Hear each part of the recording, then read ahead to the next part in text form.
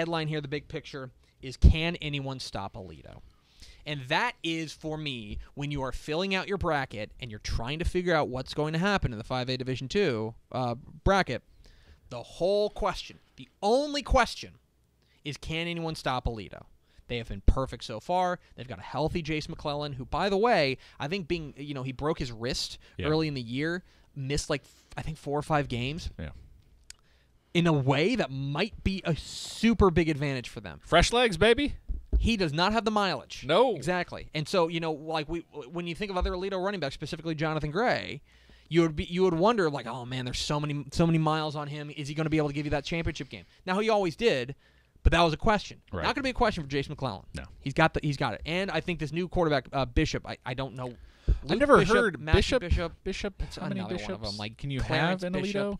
Another one, but he's incredible. A little Is there some lab out there where they just like in a side of a mountain where they're producing these bishop kids? So that is your question. The question is, can anyone stop Aledo? Let's start. Who could stop him in a, in, in in their own region? Yeah. Um, I mean, Grapevine's interesting, but I think they'd be favored over Grapevine. Yeah. Abilene Cooper, if they just trick him into a shootout and say, Right. "Let's go," you guys want to run Yeah. because Abilene Cooper can Yeah. score. It's really the path for both Grapevine and Cooper. And then regional final, I mean, Boswell, Right.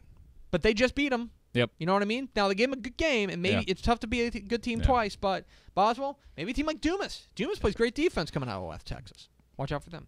Who would who, who, they, in, in a semifinal, right? In a semifinal, coming out of Region Two, could be Frisco Lone Star. Yep. And Frisco Lone Star, we've seen in person. I think they are balanced. I think they are dangerous. I think they're improving. I Battle tested. They played some tough teams. I think they're well coached. You could also see a team like Mansfield Legacy.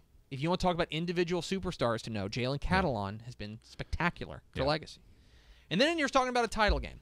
And to me, if Aledo gets to a title game, I think there's a fair chance he's going to shoot me. yeah. He's going to bust through this door from Corpus Christi and How shoot me you. in the head.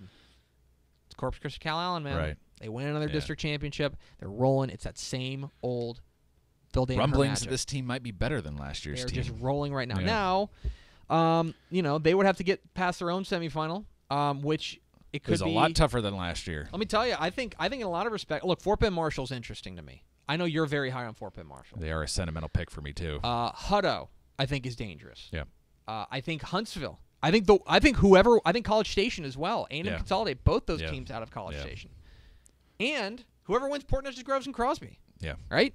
Like Yeah. we know they can score. We Right. know they have individual superstars. Whoever wins that by district Much match. tougher region this year than it was last year. These teams have all improved dramatically. So that's the question. The question is who can stop Aledo?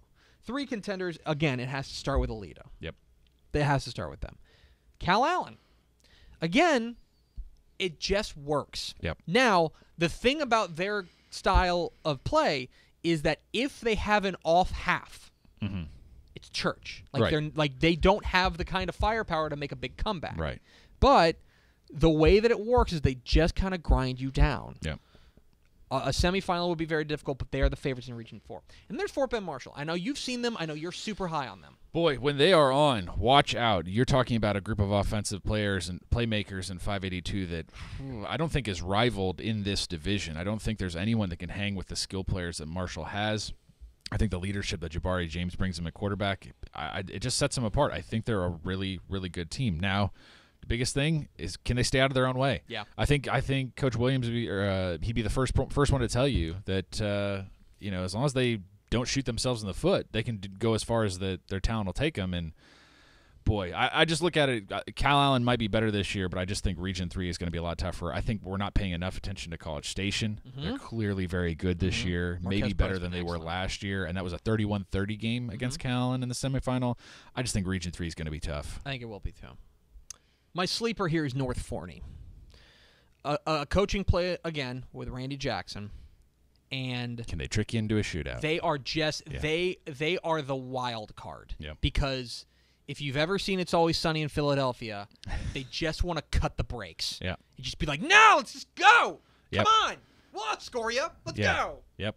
Like a giant, stupid offense. Yep. Defense is just trying to get the ball back to the offense. And if they turn you over like once or twice, like they're gonna beat you. Kind of shades of that Lake Ridge team that made it to the state final a few years ago, right? Where the defense Yeah. is not incredible, Yeah. but it's like it, uh, it doesn't matter because the offense is just out of control. North Forney is my sleeper in five division two.